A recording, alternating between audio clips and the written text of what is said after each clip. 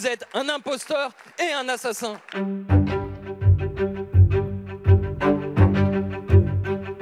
En 2017, il y avait 550 morts dans des accidents du travail dans ce pays. En 2019, il y en a eu 733. Donc vous ne pouvez pas arriver ici et me dire que la suppression des CHSCT n'a eu aucun effet. Et vous avez la responsabilité de ces choix politiques. Vous êtes un imposteur et un assassin.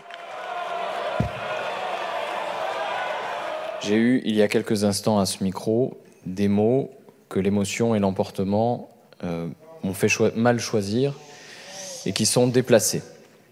Je souhaite évidemment les retirer et adresser des excuses publiques au ministre et je me tiens à sa disposition pour avoir un échange plus personnel et lui présenter à nouveau mes excuses. J'entends vos excuses, mais vous comprendrez qu'être traité d'assassin ne se pardonne pas.